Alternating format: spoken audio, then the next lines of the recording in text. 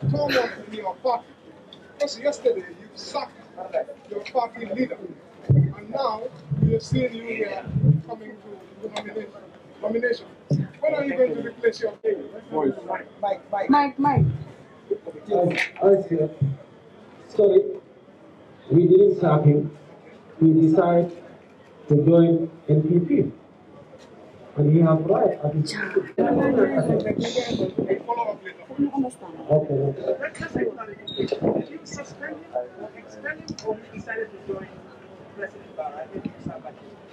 you suspended suspended. You. You So, uh, many are saying that Gambia is under the influence of foreign interference. Is that so? And if, if, so, tell us if you are voted in office, are you going to stop that and how are you going to stop that? Yes, uh, that's true because uh, we are a sovereign state. We have right to be free without foreign interference, and that is not part of the, UN Charter. So it's only happening in Gambia, and people are totally blind eye to it. So if God is in office, inshallah, 5th May, 5th December, inshallah, we will make sure that Gambia become a sovereign state What mechanism are you going to put in place in order to stop that? What mechanism? How are you going to implement it? Because this is something I know, both practically and theory, I did foreign policy. And in international system, your country, you should be always looking for the interest of your country. And whatever you are going to have relationship with any foreign country, it should be a zero-sum game. And that one, for sure, God will it for the interest of the Ghanaian people.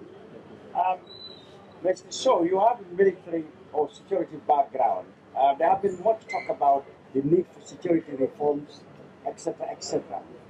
Being a former major in the army, uh, how is your perception of this security reform? How do you want to go about it?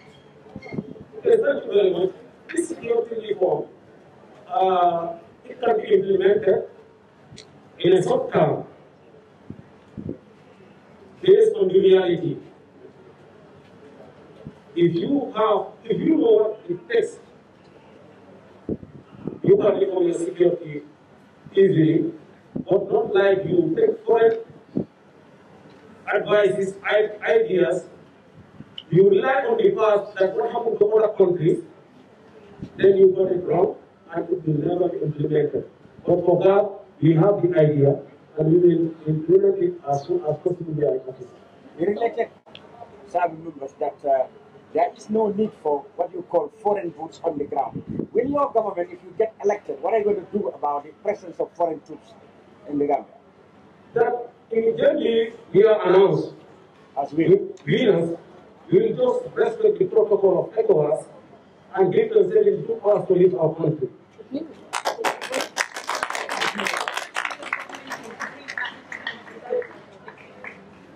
Every Gambian is important.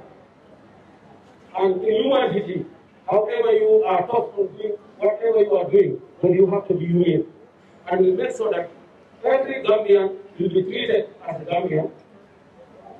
This is the country we have, and we have to respect each other. Yes. Is GAP, is GAP open to form a coalition or an alliance with any other party? After now, or if we are not thinking of it, we are going solo. And I know Gambians you know by looking at my executives, we are, they are all young people. We know our problem, and we can handle it, sure we transform the country on a rapid development. We're not seeing any women amongst your executive here. What is your stance towards gender equality and fighting for women in the new government if you come into office? What will you do? Yes, well, for that we are not gender biased. Because every Gambian is important. And you value every Gambian. You cannot, the, the men cannot do it alone. We have to include the women also so that we can develop. Because they have the sympathized heart to make sure that we move our country because they are the most vulnerable people. So I will use them at the forefront to make sure that Gambians have their dignified life. Uh, uh, camp, you. Is this how we have been doing in, in, in your party, the previous know, actions that you have been No, this was just a surprise to us. So that's all. You feel like of taking that action. Is there any interim leader as of now, as far as Batili is suspended? Is That there? we are, we will discuss it at executive level and we will make sure that we inform the press.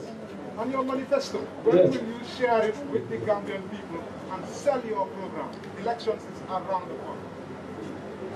Yes, that one, our manifesto is our ideas because we feel like for 56 years, Gambians are writing books and they cannot implement them because it's not their ideas. You can implement the ideas you have, you design, and you become the architect of your own company. So we have, uh, like we just have the health sector, we have sub-plan and lockdown. Both for health, agriculture, education, and also we will do it. And it is part of our manifesto.